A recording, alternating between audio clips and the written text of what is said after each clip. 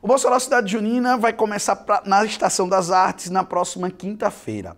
Há uma tese que é quase consenso entre analistas políticos que um bom desempenho do evento melhora a imagem do gestor de plantão.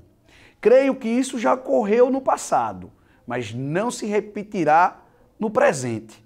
O Mossoró Cidade Junina é a maior festa da cidade, mas a população exige muito mais. Não adianta fazer uma festa organizada se os outros serviços essenciais não estiverem funcionando. O povo gosta de festa, mas sabe muito bem diferenciar as necessidades dele, com transporte, infraestrutura, saúde, educação e segurança. Agora, um Mossoró Cidade Junina mal sucedido ajuda a piorar a situação de desgaste. Se a prefeita aposta todas as fichas dela numa festa, estará correndo um sério risco de quebrar a cara.